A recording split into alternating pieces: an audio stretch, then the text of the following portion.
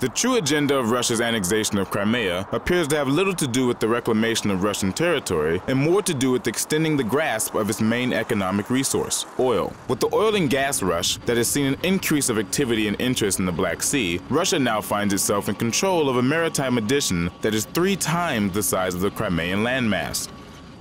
The move that gave Russia control of vast oil and gas reserves also dealt a crippling blow to Ukraine's hope for eventual energy independence. In a New York Times article by William Broad, Carol Saivetz, Eurasian expert at MIT, is quoted as saying, It's a big deal. It deprives Ukraine of the possibility of developing these resources and gives them to Russia. It makes Ukraine more vulnerable to Russian pressure.